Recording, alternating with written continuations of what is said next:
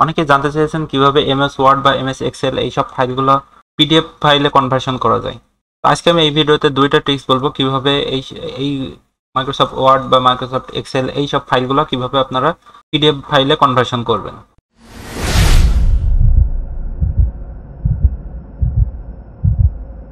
আসসালামু আলাইকুম, আমি মোহাম্মদ নাজমুল সাকিব। আপনাদের সবাইকে আমার ইউনিক টেকহান্টার ইউটিউব চ্যানেলে স্বাগতম। প্রথম যে ট্রিক্সটা আমি বলব, তার জন্য আপনাদের প্রথমে ফাইলটা ওপেন করে নিতে হবে। ধরেন আমি এই ফাইলটাই পিডিএফ ফাইলে কনভার্ট করব। এটা ওপেন করে নিলাম। এটা কিন্তু এখন ডক ফাইল আছে। এখন আপনারা এটা যদি পিডিএফ ফাইলে কনভার্সন করতে চান, তাহলে আপনারা কিবোর্ড থেকে কন্ট্রোল প্লাস পি প্রেস করবেন। কন্ট্রোল প্লাস পিতে প্রেস করলে আপনারা প্রিন্টের অপশন পেয়ে যাবেন। এখন এই যে প্রিন্টারের যে অপশনটা এখানে দেখতে পাচ্ছেন, এখানে আপনারা যদি মাইক্রোসফট প্রিন্ট টু পিডিএফ এটা সিলেক্ট করে দেন, দিয়ে এখন যদি আপনারা প্রিন্ট অপশানে ক্লিক করেন, তাহলে একটা উইন্ডো আসবে যে আপনারা এই ফাইলটা পিডিএফ ফাইলে কনভার্ট করে কোথায় রাখতে যাচ্ছেন। আমি ডেস্কটপে রাখতে যাচ্ছি, নাম দিলাম টেস্ট ফাইল সেভ করে দিলাম, এখন আমাদের ফাইলটি কিন্তু পিডিএফে কনভার্সন হয়ে গেল। চলেন চেক করে নিই।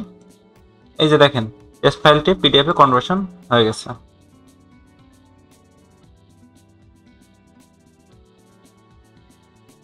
এভাবে খুব সহজে আপনারা মাইক্রোসফট ওয়ার্ড মাইক্রোসফট এক্সেল থেকে পিডিএফ ফাইলে কনভার্সন করতে পারবেন।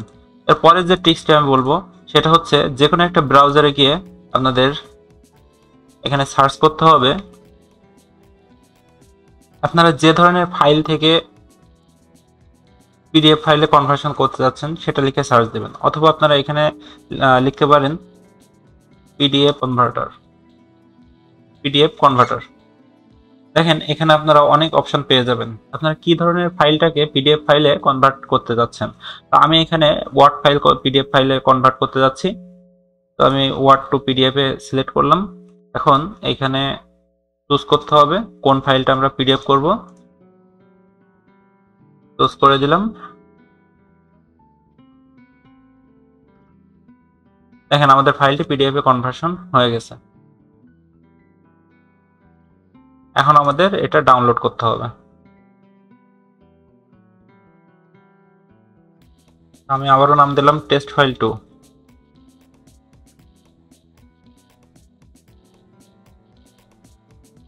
দেখেন, আমাদের ফাইলটি ডাউনলোড হয়ে গেল।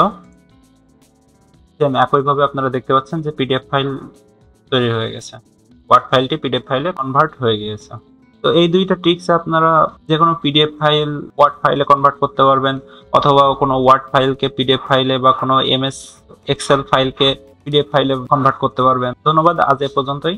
যদি আপনারা এখনও আমার চ্যানেলে সাবস্ক্রাইব না করে থাকেন, তাহলে অবশ্যই আমার চ্যানেলে সাবস্ক্রাইব করে দেবেন। আর যদি আপনাদের কোনো কিছু জানার প্রয়োজন হয় বা কোনো ইনস্ট্রাকশন থেকে থাকে আমার জন্য, তাহলে অবশ্যই সেটা কমেন্ট সেকশনে জানাবেন।